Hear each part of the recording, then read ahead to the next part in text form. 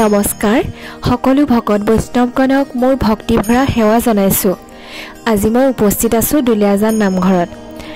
অৱশ্যে নামঘৰলৈ বুলি অহা নাছিলোঁ নামঘৰৰ কাষেদি পাৰ হৈ যাওঁতে ইমান এটা সুন্দৰ পৰিৱেশ দেখি নোৰোৱাকৈ থাকিব নোৱাৰিলোঁ।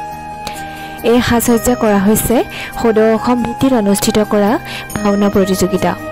আৰু এই ভাওনা প্ৰতিযোগিতা যোৱা বাৰ ডিচেম্বৰৰ পৰা ছাব্বিছ ডিচেম্বৰলৈকে অনুষ্ঠিত হ'ব। ভকতিৰ অমিয়া ৰসত উৎসৱ মুখৰিত হৈ পৰিছে এই নামঘৰৰ চৌপাশ। অসমীয়া জাতীয় সংস্কৃতিৰ বৰঘৰ হৈছে নামঘৰ। আমাৰ অসমীয়াৰ জাতীয় পৰিচয়। অসমৰ কলা কৃষ্টি আৰু সংস্কৃতিৰ প্ৰণেতা মহাপুৰুষ শ্ৰীমন্ত শংকৰদেৱে প্ৰতিষ্ঠা কৰা সত্ৰ আৰু নামঘৰসমূহ আমাৰ অসমীয়া জাতিৰ বাবে গৌৰৱ। বিশেষকৈ সামাজিক বৌদ্ধিক আৰু সাংস্কৃতিক দিশত নামঘৰ এক ধৰ্মীয় অনুষ্ঠান হোৱাৰ লগতে ধৰ্মীয় ৰীতি নীতি ধৰ্মীয় পৰম্পৰা প্ৰাচীন নিয়ম অনুসৰি এই অনুষ্ঠানে আমাৰ এই সমাজখনক মানৱ জাতিক একতাৰ দোলেৰে বান্ধি ৰাখিছে।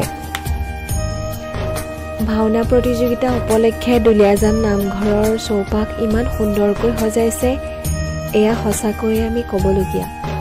আৰু এই নামঘৰৰ পৰিৱেশ দেখি সঁচাই অভিভূত হ'লোঁ।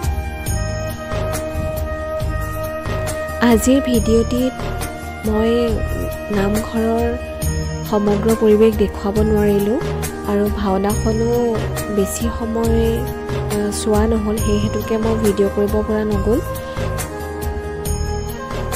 আকৌ এটি নতুন ভিডিঅ'ত আপোনালোকক পুনৰ লগ পাম।